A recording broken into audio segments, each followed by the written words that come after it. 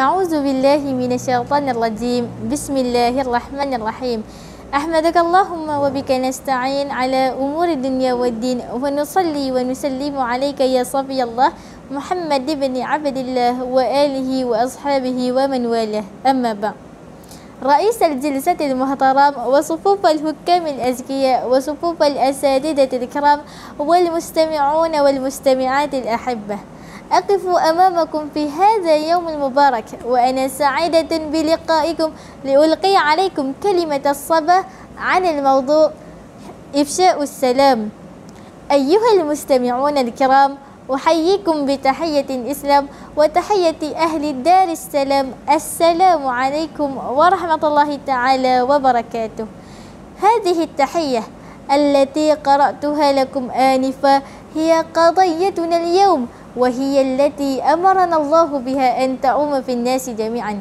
وتسير كالمثل السائر لقوله صلى الله عليه وسلم الذي رواه إمام المسلم لا تدخل الجنة حتى تؤمنوا ولا تؤمنوا حتى تحبوا أولا أدلكم على شيء إذا فعلتموه تحاببتم أفشوا السلام تس...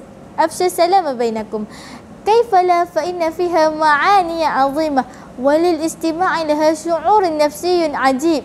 لذا نجد العلماء الشافعية يشترطون في ابتدائها وجوابها رفع الصوت على قدر النسمة فتشيع في الناس عوائدها التي يقصد من تشريعها ديننا السلام. ولكن هل تعلمون أيها الأحبة ما هي هذه العوائد التي يقصدها الإسلام؟ حتى هدى الله تعالى على أن نتفاضل بها بقوله أعوذ بالله من الشيطان الرجيم. وإذا حييتم بتحية فحيوا بأحسن منها أو ردوها. صدق الله العظيم.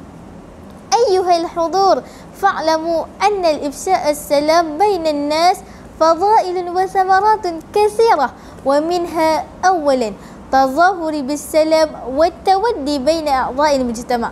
كما ذكرنا لكم في حديث أبي هريرة آنفا. وثانيا إفشاء السلام سبب لنيل الأجر الكبير الذي وعد به نبينا محمد صلى الله عليه وسلم. عن أبي هريرة رضي الله عنه أن رجلا مر على رسول الله صلى الله عليه وسلم وهو في مجلس فقال السلام عليكم. فقال عشر حسنات. فمر رجل آخر فقال السلام عليكم ورحمة الله. فقال عشرون حسنة. فمر رجل آخر فقال السلام عليكم ورحمة الله وبركاته. فقال ثلاثون حسنة.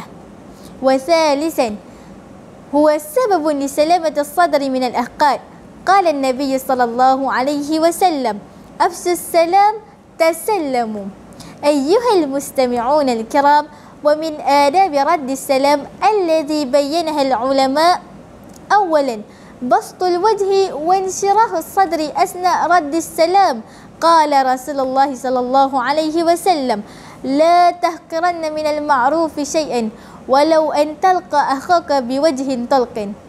وثانيا أن يكون الرد على التحية بمثلها أو بأحسن منها. قال الله تعالى أعوذ بالله من الشيطان الرجيم. وإذا حييتم بتحية فحيوا بأحسن منها أو ردوها.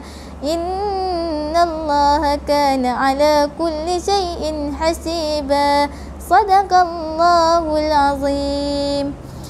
أيها المستمعون الكرام إفشاء السلام من تعاليم دين الإسلام الحنيف التي تدعو إلى نشر المحبة والألفة في المجتمع وهو دعاء بالسلامة من كل شر ومرض وذنب وهو سبيل لتكفير السيئات والخطايا وهو وسبب ميسر لنيل الأجر الكبير والفوز بالجنة.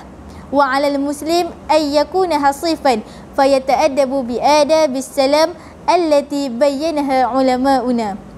وبهذا أختتم كلامي وأبتدئكم بالسلام فرده. والسلام عليكم ورحمة الله تعالى وبركاته.